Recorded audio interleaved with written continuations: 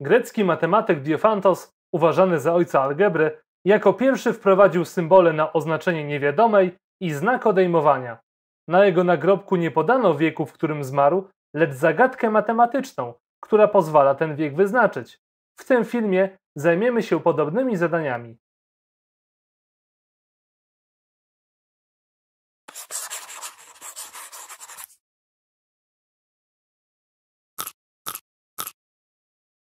Mamy do rozwiązania następujące zadanie. Tata i córka mają razem 62 lata. 4 lata temu tata był 8 razy starszy od córki. Ile lat ma teraz każdy z nich? Czego szukamy w danym zadaniu? Szukamy wieku taty i wieku córki. Wprowadzę następujące niewiadome. Poprzez T oznaczę wiek taty obecnie, a poprzez C wiek córki obecnie. Dlaczego obecnie?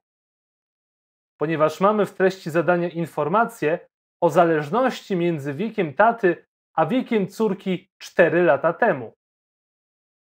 Musimy w jakiś sposób zapisać ich wiek 4 lata temu, wykorzystując nasze niewiadome t i c.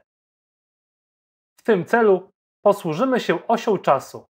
Na osi czasu mamy zaznaczoną przeszłość, czyli 4 lata wstecz, i teraźniejszość.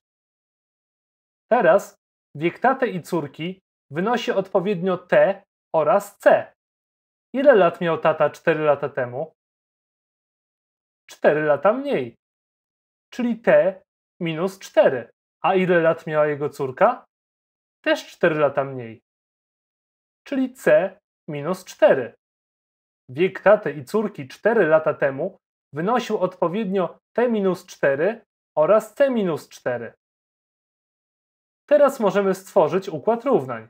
Z treści zadania wiemy, że tata i córka mają razem 62 lata.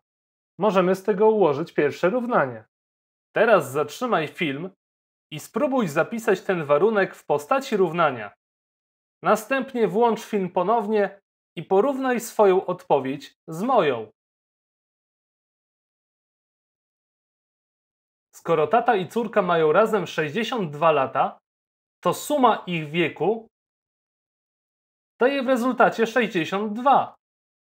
Czyli t plus c równa się 62. Z treści zadania wiadomo też, że 4 lata temu tata był 8 razy starszy od córki. 4 lata temu tata miał t minus 4 lat, a córka c minus 4 lat. Tata był wtedy 8 razy starszy od córki. Czyli t minus 4 jest równe 8 razy c minus 4. Tak jak powiedzieliśmy wcześniej, 4 lata temu tata był 8 razy starszy od córki. Zatrzymaj teraz film ponownie i rozwiąż ten układ równań. Następnie porównaj swój wynik z moim. Pierwsze równanie przepisuję bez zmian. W drugim wymnażam 8 przez wyrażenie w nawiasie. 8 razy c to 8c. Natomiast 8 razy minus 4 to minus 32. Teraz upraszczam drugie równanie. Przerzucam 8c na lewą stronę, a minus 4 na prawą stronę. Otrzymuję, że t minus 8c jest równe minus 28. Obustronnie wymnażam teraz drugie równanie przez minus 1 i otrzymuję minus t plus 8c równa się 28. Zauważ, że przy t stoją przeciwne współczynniki plus 1 oraz minus 1. Wykorzystam więc metodę przeciwnych współczynników. Dalsze obliczenia zapiszę po lewej stronie, tam gdzie mam więcej miejsca. t dodać c minus t dodać 8c równa się 62 plus 28.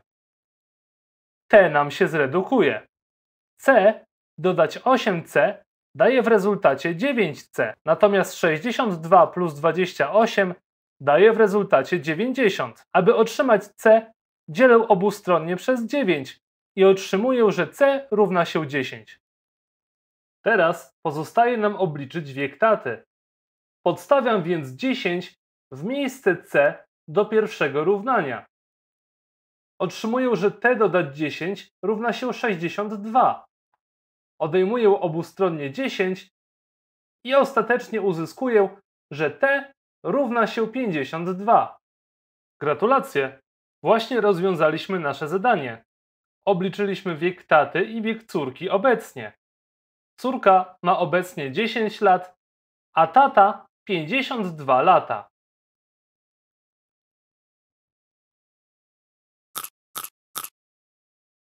Mamy do rozwiązania kolejne zadanie. Za 16 lat mama będzie dwa razy starsza od syna. Ile lat ma teraz każde z nich, jeżeli 4 lata temu mama była 6 razy starsza od syna? Zobacz, to zadanie jest bardzo podobne do poprzedniego. Musimy się dowiedzieć, ile lat ma matka, a ile syn. To będą nasze niewiadome. Poprzez M oznaczę wiek matki, a poprzez S wiek syna. Co mamy podane w treści zadania? Wiemy, że za 16 lat mama będzie dwa razy starsza od syna. To pierwsza informacja. Wiemy też, że 4 lata temu mama była 6 razy starsza od syna. To druga informacja. Musimy więc w jakiś sposób zapisać wiek matki i syna za 16 lat oraz 4 lata temu. Wykorzystajmy ponownie oś czasu.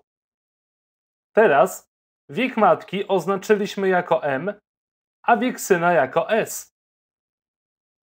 4 lata temu zarówno matka, jak i syn byli młodsi o 4 lata. Dlatego ich wiek to odpowiednio m-4 oraz s-4. Zatrzymaj teraz film i wykorzystując nasze niewiadome, zapisz wiek matki i syna za 16 lat. Następnie porównaj swoją odpowiedź z moją. Natomiast za 16 lat matka i syn będą starsi o 16 lat. Dlatego ich wiek odpowiednio wyniesie m plus 16 oraz s plus 16. Potrzebujemy teraz jedynie układu równań. Zapiszę pierwsze z nich. Za 16 lat mama będzie dwa razy starsza od syna. To oznacza, że jeśli wiek syna wymnożymy przez 2, to otrzymamy wiek matki. Czyli m plus 16 równa się 2 razy s plus 16. Zatrzymaj teraz film i napisz drugie równanie do tego układu równań. Potem porównaj swój wynik z moim. Wiemy, że 4 lata temu mama była 6 razy starsza od syna. Czyli aby uzyskać jej ówczesny wiek, należy wymnożyć ówczesny wiek syna przez 6. Oto nasz układ równań. Zatrzymaj teraz film i rozwiąż ten układ równań. Następnie porównaj swój wynik z moim. Najpierw wymnażam wyrażenia w nawiasie. 2 razy s to 2s, a 2 razy 16 to 32. Z kolei 6 razy s to 6s, a 6 razy minus 4 to minus 24. Teraz od pierwszego równania odejmuję obustronnie 16, a do drugiego równania dodaję obustronnie 4. 16 po lewej stronie mi się zredukuje. 32 minus 16 daje w rezultacie 16. Po prawej stronie mamy 2s plus 16. 4 też mi się zredukuje.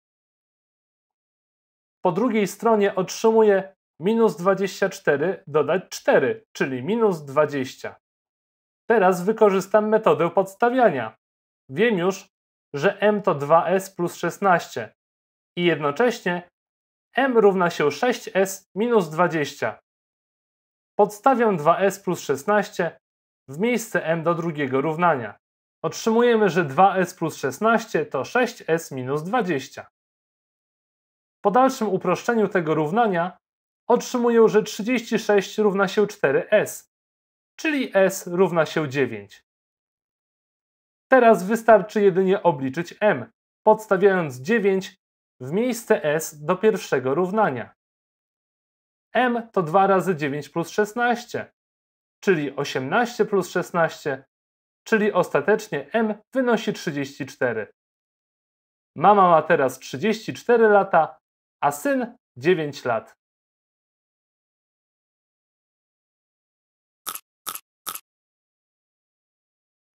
Na osi liczbowej możemy zaznaczyć wiek osób z zadania w chwili obecnej, w przeszłości i w przyszłości.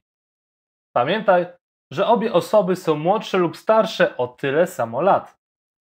Jeśli ich wiek wynosił teraz M i S, to 4 lata temu ten wiek był równy M-4 i S-4.